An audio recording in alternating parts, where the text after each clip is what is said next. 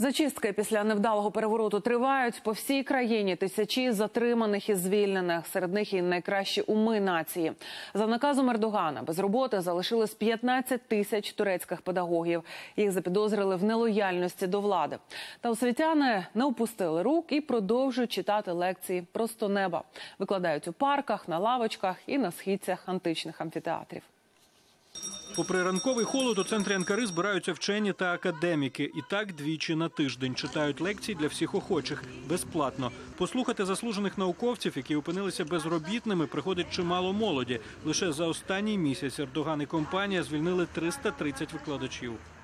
Я була вкрай розгнівана, і це, на мою думку, здоровий гнів, який врешті допоміг мені. Нас звільнили несправедливо і незаконно, без жодних підстав. Ця ситуація показує, що придушення будь-яких опозиційних чи демократичних поглядів ще триватимуть.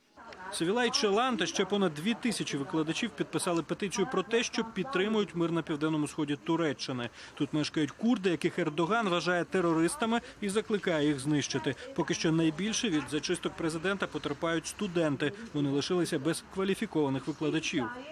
Вони знехтували нашими правами на освіту, на знання. Це жахливо, але всі ми, як і раніше, впевнені в одному: наші викладачі повернуться. Наша професорка також вважає, надія на реальну свободу політичної думки ще є.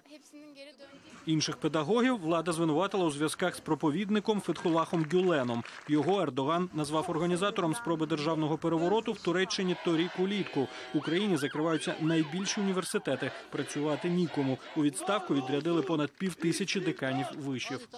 Вони практично намагаються зачистити університети. Ми як можемо боремося із цим. Не даємо широкого розголосу, з'ясовуємо, чи не суперечить це закону. Рано чи пізно ми повернемося. Університети не належать керівній партії, вони належать народові. Однак, коли саме вчені повернуться до аудиторій, поки що невідомо. У квітні в Туреччині відбудеться конституційний референдум. За його результатами Ердоган може перебрати всю владу в країні до своїх рук. Дмитро Євчин, новини телеканал Інтер.